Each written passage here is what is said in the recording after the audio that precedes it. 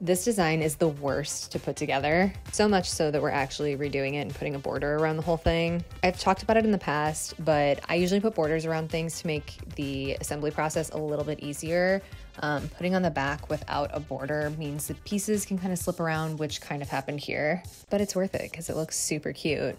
This is the Flamingo Haven design. We got a couple requests to see it after I posted the other tropical design a couple days ago and they were in the same order together. This is the wall art piece version, but it's also available as a light switch cover. This is a preset colorway that's in all gloss, but we do get a ton of custom colors for this, especially in the mirror, which I love because as you guys know, I love the mirrored acrylic so much.